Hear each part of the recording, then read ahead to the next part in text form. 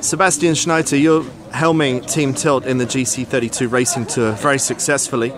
Um, now, the start, we always know that in racing of any kind, the start is really critical, but it seems with these reaching starts, it's really, really important.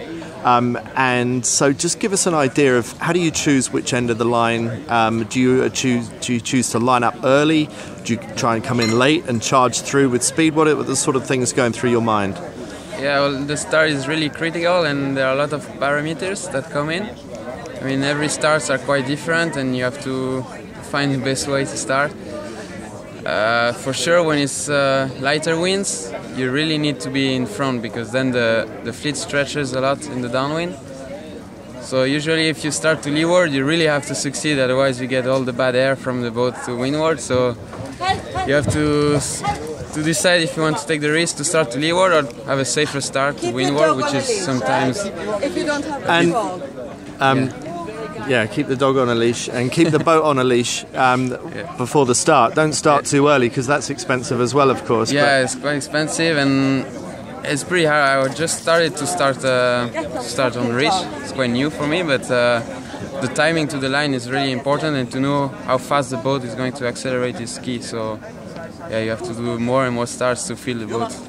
When you're doing um, your practice runs beforehand and, and you're getting your eye in for the first reach to the first mark, what kind of discussions are you having in terms of uh, is it that is that to help determine which is the favourite end of the line?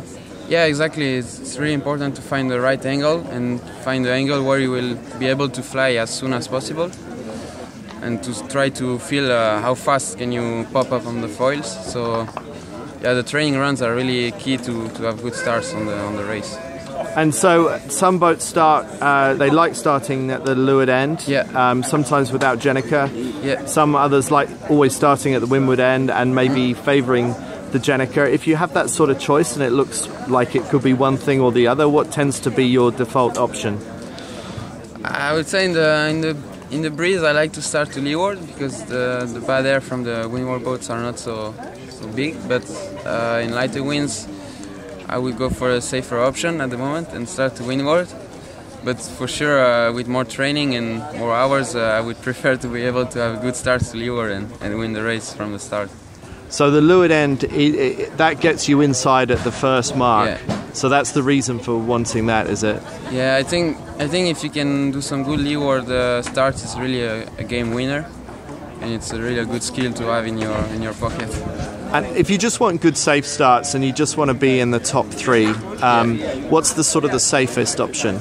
Yeah, I think the safest option would be well, first of all, to be on speed at the at the top and be on the line, and then if you really want to be safe, you can start to windward. But sometimes it means that you have to do more distance. So it means you will not really, most of the times you will not be first, but you will always be in, in a good position. Sébastien, thanks very much, and we wish you luck for the rest of the season. Thanks.